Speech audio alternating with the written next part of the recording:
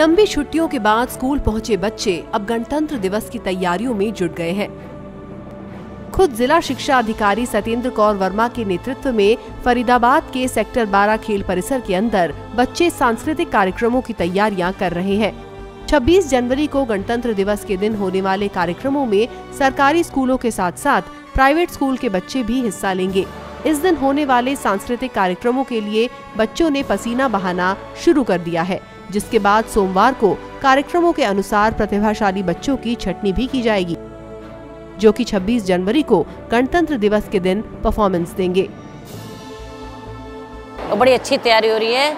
छुट्टियों के बाद बच्चों में जोश है और अच्छी तरह से तैयारी करेंगे। प्रोग्राम बड़ी अच्छी तरह से मनाएँगे। कहाँ कहाँ के बच्चे आए हैं? अभी तो सरकारी स्कूल और प्राइवेट स्कूलों के हैं। इनका सिलेक्शन जो है मंडे को होगा।